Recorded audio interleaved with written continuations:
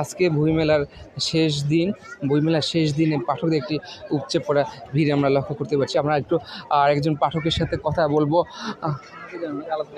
হ্যাঁ আমরা একটু একজন পাঠকদের সাথে কথা বলব, জানব তার অনুভূতির কথা।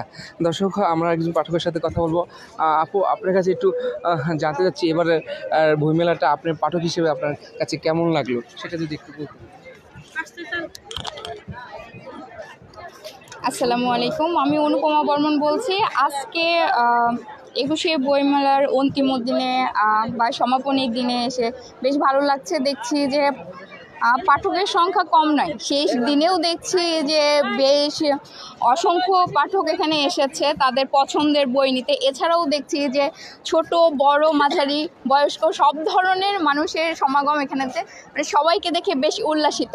এবং দেখছি যে নতুন নতুন লেখকরা তাদের বই প্রকাশ করেছে।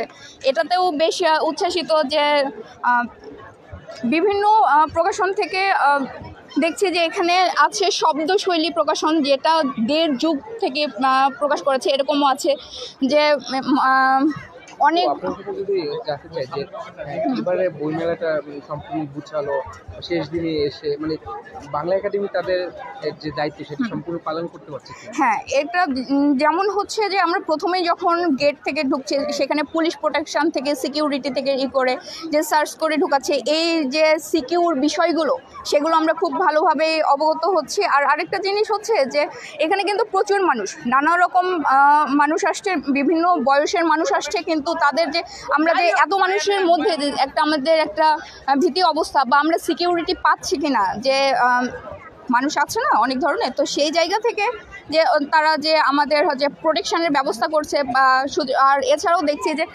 মানুষজন ই করছে তাদের পছন্দের বই তো নিচ্ছেই। এর সাথে দেখছি যে অনেকে শুধুমাত্র ঘুরতে বা দেখতেও এসেছে।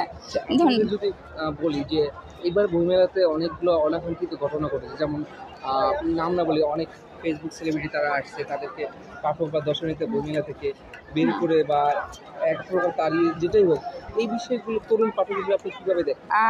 আমি কারও ব্যক্তিগত বিষয় নিয়ে বলতে চাচ্ছি না। আই থিঙ্ক সবাই বুঝতে পারছে যে আপনি কোন বিষয়টা উল্লেখ করেছেন বা উল্লেখ করতে যাচ্ছেন। হ্যাঁ এরকম আছে যে কে কি করবে সেটা তাদের ব্যক্তি স্বাধীনতার ব্যাপার। কিন্তু এছাড়া যদি সে ব্যক্তি স্বাধীনতাগুলো যদি আমাদের আহ, আপনি কাছে আরেকটা জিনিস আছে হ্যাঁ, যদি জি। আপনি একজন পাঠক হিসেবে শুনেন যে আগামীবার থেকে বইমেলা শরৎ উদ্যান বা বাংলা একাডেমি হচ্ছে না তখন আপনার অনুভূতিটা কেমন খুবই খারাপ লাগবে কারণ প্রতি বছর এই এটা আমাদের একটা আবেগের জায়গা।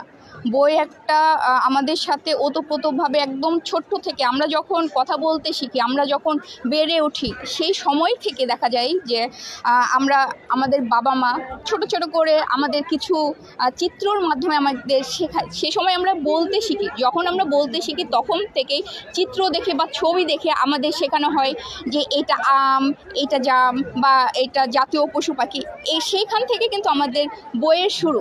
যখন কিন্তু আমরা নিজেরা বুঝতে শিখি না, তখন থেকে বই আমাদের হাতে তুলে ধরে দেওয়া হয়। তো ছোট থেকে এখন এবং পড়াশোনা বা একাডেমিক জীবন জীবনেও আমরা বইয়ের সাথে ওতপ্রোতভাবে জড়িয়ে থাকি, এজন্য বই আমাদের একটা অনুভূতির জায়গা। খুবই খারাপ লাগবে যদি এই বই মেলাটা বন্ধ হয়ে যায়, কারণ প্রতি বছর আমরা এখানে?